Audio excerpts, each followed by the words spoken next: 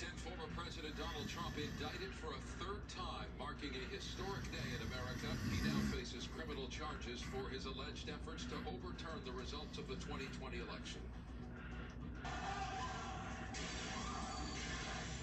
Plus, masked robbers smashed their way through an Irvine jewelry store, making off with nearly $1 million in valuables.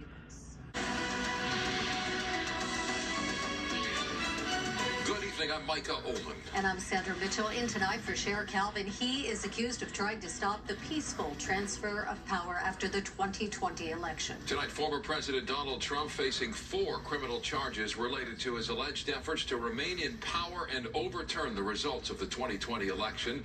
This is the third indictment faced by the former president, who is the current frontrunner for the Republican nomination in the upcoming 2024 presidential election. No other president or former president has ever been indicted in the history of the United States. And we begin our coverage tonight with Chris Wolf. He is live in studio with the stunning details of today's indictment. Chris? Yeah, that's right, Sandra and Micah. The defendant was determined to remain in power. The defendant spread lies. The defendant perpetrated a conspiracy against the right to vote and to have one's vote counted. These are some of the new allegations against Donald Trump.